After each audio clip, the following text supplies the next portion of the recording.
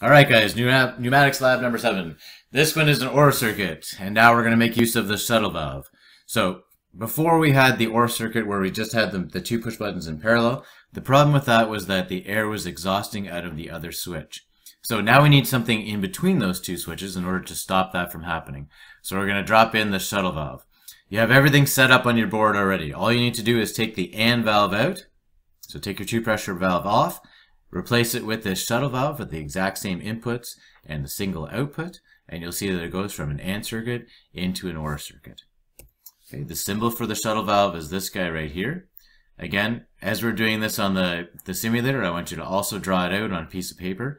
That way it's going to solidify all the different uh, circuits and symbols. Because again, during the test, you're just going to get a blank sheet. And I'm going to ask you for one of these um, circuits that we're doing in class. And you have to write it out from start to finish exactly the way as we're doing it on the simulator.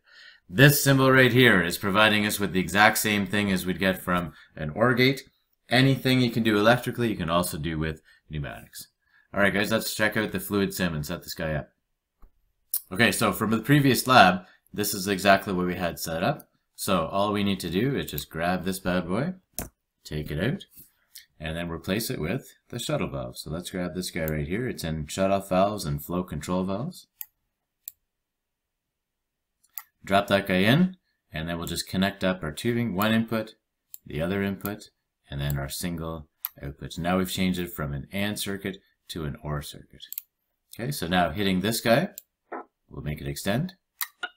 Hitting this guy will make it extend as well. Okay, you'll notice that the ball is going to move over. The issue with the previous lab was that when we pressed this push button, the air was coming up and exhausting from 2 to 3 on the other push button. But now that we press this one and we've got a shuttle valve in there, then you can see that the ball has moved over, seated there.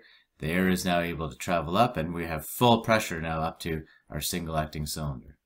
The spring in here is going to push back on the air when we let go of this switch and then the air is going to be able to exhaust out and come down and exhaust out from 2 to 3. If I hit this other push button, then the air is going to go from 1 to 2. This ball is going to move over it's not really a ball in there. There's a, there's a me mechanism inside of the OR valve.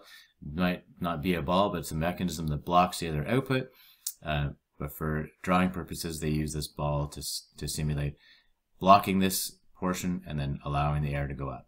So hit this guy, air goes from 1 to 2, seats this ball over here. We have full pressure from our compressor going up to our single acting um, cylinder. And then when we let it go, the spring is going to push this back. The air is going to come down. It has blocked here, so the air is going to come down, and it's going to go from 2 to 3. Ah, uh, yes. Excellent. Okay. Hit one, it moves. Hit the other guy, it moves. There we go. So we've now created an OR circuit just by taking out that one component. All right, guys, let's hook it up in the lab. Okay, so we had the AND valve in here. Let's take that out of here. So we'll remove the two pressure valve here and we're going to replace it with a valve that looks almost identical there. Two seconds, I'll just find it in the tackle box. So we're going to grab the, the shuttle valve. You can make it out with this embossed on the front here. It looks identical to the AND valve. A little bit difference in size, uh, but you can see the two symbols that are embossed on the front. So we're now grabbing this guy. We're going to use the shuttle valve, and that's going to, I don't drop it all over the place, that's going to allow us to have an OR circuit now. Now the problem with the previous OR circuit was that the air was coming out of the other switch. So hopefully this will remedy it with the new shuttle valve. Okay? So we have a feed into either one of the push buttons. We then have a parallel feed into our shuttle valve and from the shuttle valve, we now are going to our single acting cylinder. So this guy or this guy should allow it to extend. Okay, let's see. Well, we can hear now that there's no air coming out of the other switch. Pressing this guy, the shuttle valve has now effectively blocked the air coming from the other switch.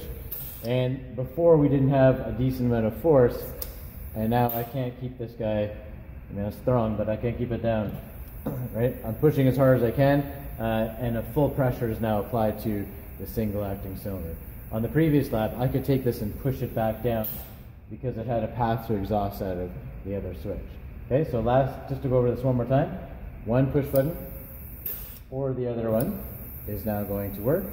And we've alleviated that issue where the air was exhausting out of the other switch because we're now making use of the shuttle valve or the OR valve. All right, guys, thanks very much.